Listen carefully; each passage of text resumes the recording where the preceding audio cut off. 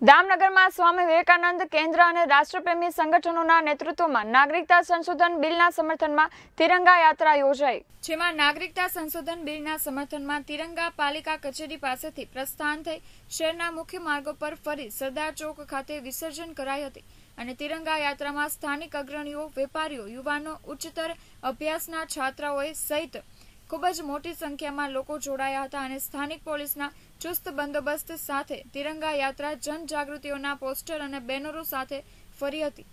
Natwarlal Bhatia, KTV news, Damnagar.